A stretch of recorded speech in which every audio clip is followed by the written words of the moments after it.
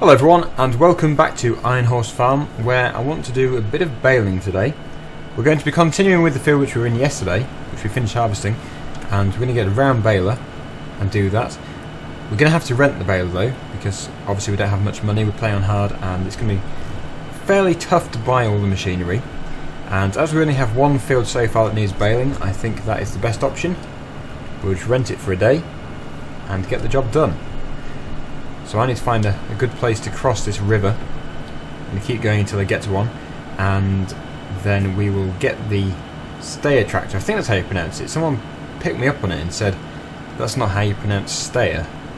But I don't know another pronunciation of it, so hopefully I am pronouncing it correct. Um, but yeah, we're going to get that field baled.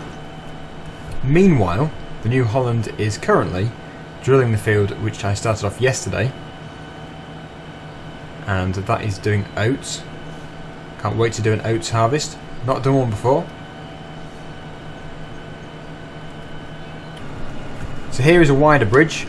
It's still not massively wide, but there's more of a swing to it. So I should be able to get the combine over. It will be tricky. It always has been. But it should be possible if I don't crash too much.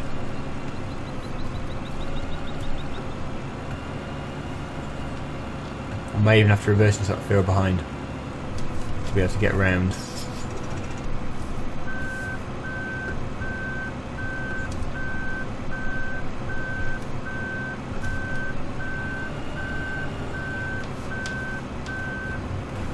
Right, that's the header into there. I should be able to cross easily now. It's just getting lined up, which is the problem.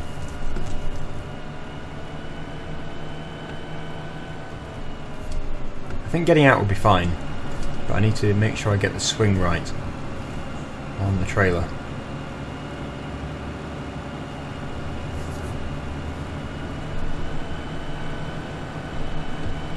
So this is Iron Horse Farm. This is the yard itself. Uh, nowhere really in particular to put this combine, so I'll just put it here for now. We'll turn it off. We now want the Steyr tractor and I also want to get the baler. There it is, and the good thing about it is it hasn't really cut into our bank balance at all. It's very cheap to rent for a day, uh, just £4,000, and yeah, £4,000 a day, yeah, that's going to be very expensive if you're doing that every day of the year. But for Farming Simulator, it's good because the amount it costs to buy these pieces of equipment new is astronomical so 4,000 is nothing really. There's one thing I worry about with that field, and it is the swath. The width of the swath is really big, and I don't know if I'll be able to get it all in one go. And I don't want to have to windrow it, but if I can't, it's going to look really messy if it's missing bits all the time. So I can only see one thing to do, only one option, and it would be to windrow it, and that would be a shame because there's a lot of wasted time and money.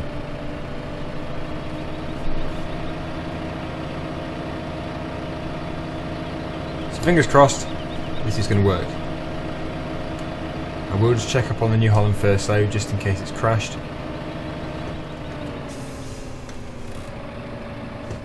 Right. Oh no, it's doing well. It's cracking on well. I know it's costing money having a worker, but it would be really tedious if the entire video was just me going up and down this field, so I think it is the best option here. When I can afford it, I'll get a new drill, but that's obviously not at the moment. So yes, back into this tractor, and we'll get to work.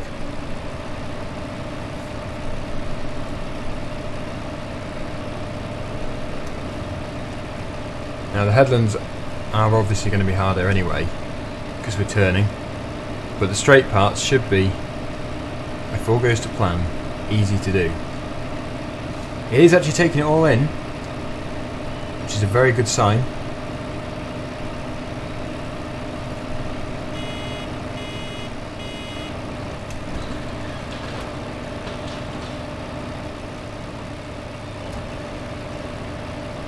Yep, that seems to be working well. So we don't need the windrower. That is really good news. For those of you who keep asking about a release date for this map, I don't know personally because it's not my map, but it's in the Giants mod contest, which, as far as I'm aware, the closing date for entries is 25th of August. Maybe wrong, but I don't know how long after that they release them. I would have thought it would be released with all the other mods which are in the contest, so if you can find out the date for that, there is your answer. Obviously when it is released I'll put a link in the description so that you can download it.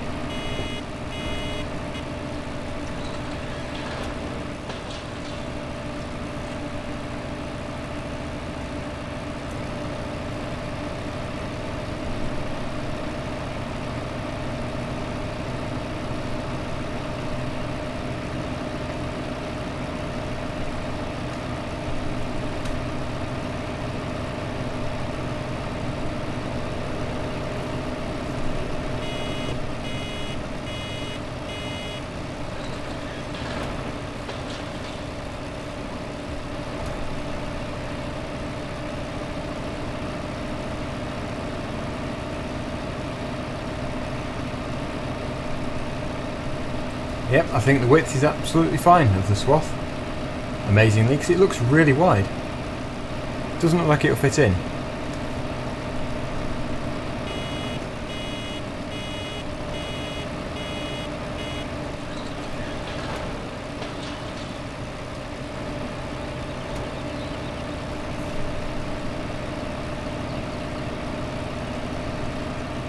Clearly, we're getting a lot of straw off this field so we should get plenty of bales, which is good because we're going to need them for our animals. We're also going to need to sell some to get some more money.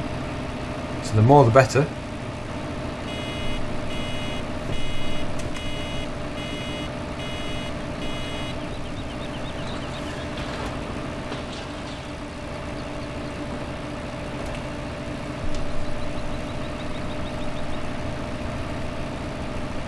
it really piles up like there when you stop the combine in one place which is of course what would happen in real life. It'll start piling up higher and higher if you just stopped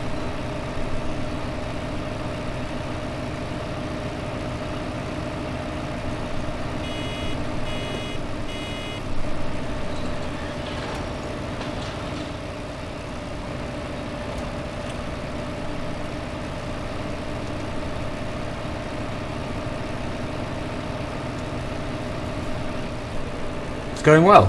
14 bales so far. Not really done too much, so we're going to get a good number out of this field. Quite happy with it.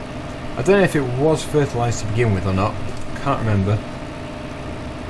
But if it wasn't, it's still good for what it is. Now, uh, that is the header that's actually taken off now. It's going to have to start going up and down the field.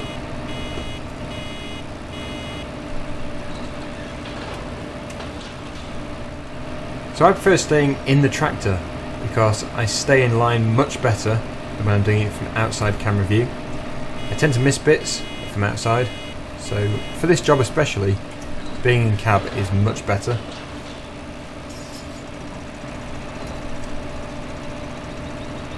It'd be good if there's like a rear view camera on the back and there's a little screen in here and you could see it so you know when it's closed properly.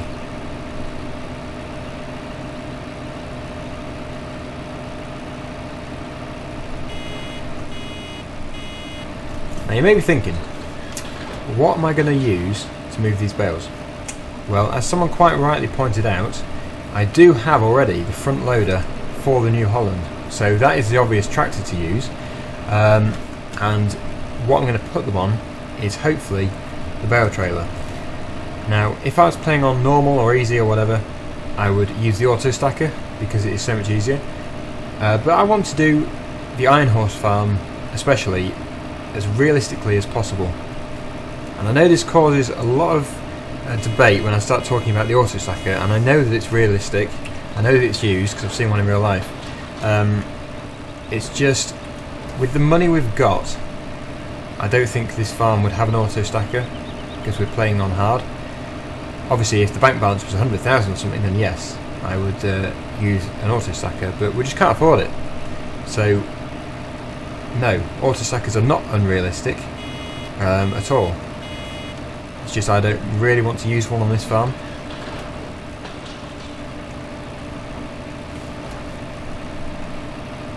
I actually like using auto stackers, I think they're very good.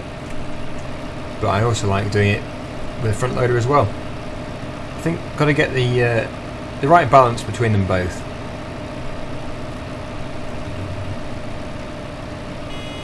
It's a bit scruffy here on the corners.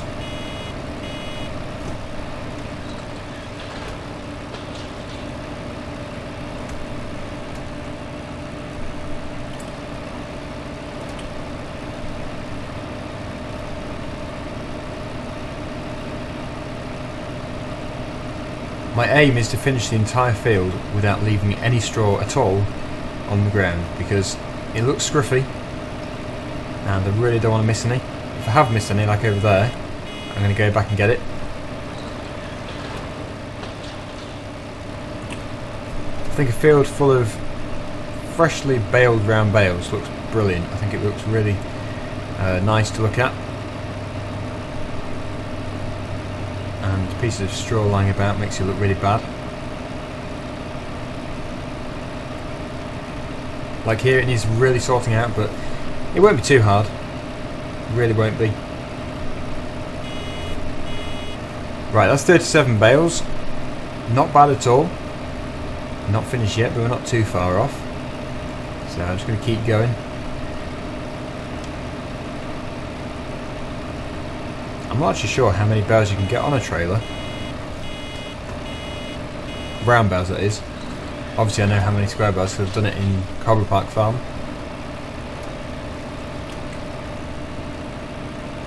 A little bit missed there, have to pick that up later. But overall, I think it has been quite successful. There are a few bits I've missed, but I'm going to pick them up later.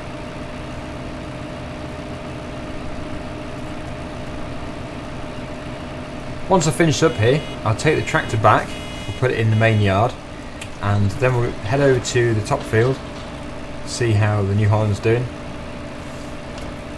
Fingers crossed by then it will have finished the field, which means we'll be allowed to let it get growing. But I need to find another job. Obviously we need to move the bales, so that'll be in the next episode. Uh, but other than that, all I can think of is harvesting, because we still have more barley harvests to do, more barley fields. Uh, but yeah, there, there isn't a great deal to do when you haven't got much machinery. So the uh, amount of jobs I can do in Challenging is much more than this farm, only because of the way I'm playing though.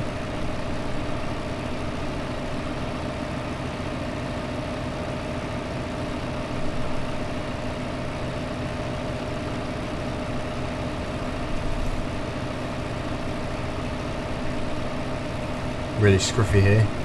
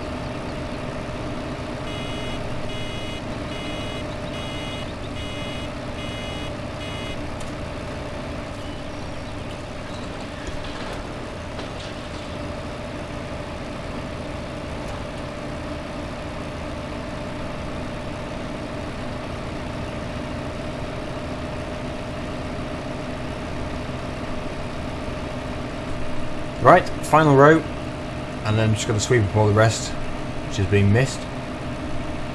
It's looking like 50 bales though. Very good number. We may be able to get 51 from all the scraps.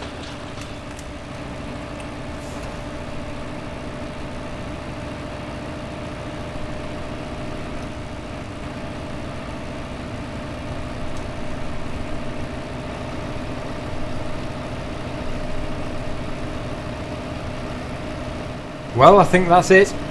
It's looking very good. Nice field of bales, ready to be collected, and we'll do that in the next episode. So we'll head back to the yard.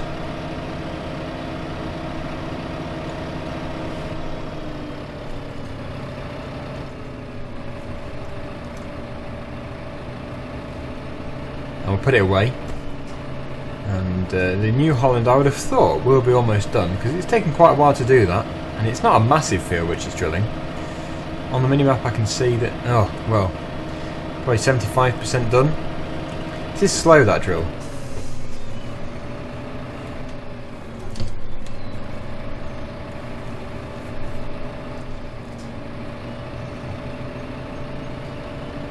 I think it is probably one of the priorities to get a new drill. But I also want to get a John Deere mod like I mentioned previously last week. Uh, still looking for a good one, but I have got one in mind, so hopefully very soon I'll be able to get that.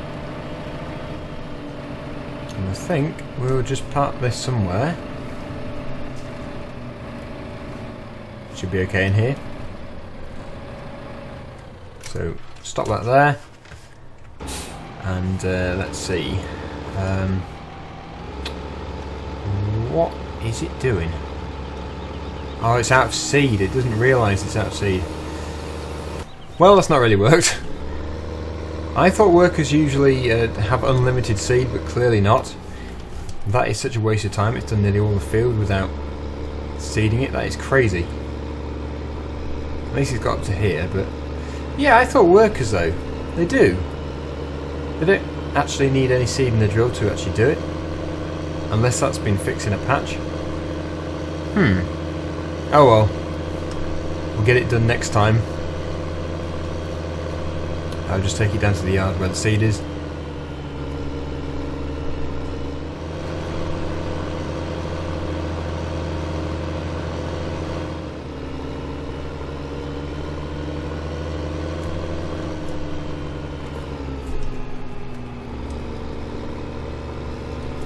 Down here. I remember this time. And uh, through here.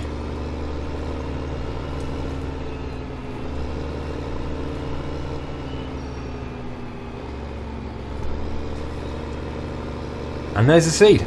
So I must remember to keep an eye on it this time to make sure there is always enough seed in the drill. First time I've encountered that problem though. Maybe it's just this map. Obviously, it is more realistic to have seed in the drill which you're using, but it's just from past experience on FS, you didn't need to. Oh well, I know now. So, thanks for watching, everyone. Hopefully, you've enjoyed this episode, despite that little hiccup at the end there. But I'll see you next time. Thanks for watching, and bye for now.